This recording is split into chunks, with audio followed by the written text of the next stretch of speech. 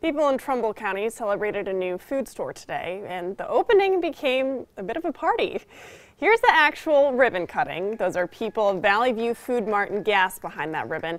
You can also see some familiar faces like Warren Mayor Doug Franklin and Trumbull County Commissioner Dan Polivka. And what's a celebration without cheerleaders and donuts?